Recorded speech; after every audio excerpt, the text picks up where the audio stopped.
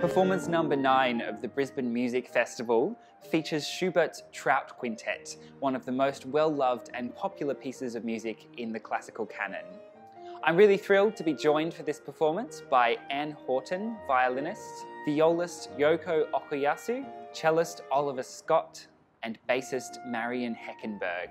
Schubert's music is very unique in the way that he utilizes musical intimacy, and this intimacy is very much drawn from Schubert's lead, from his songs.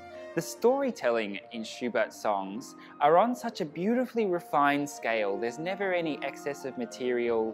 Every little note contributes to the narrative in a meaningful way.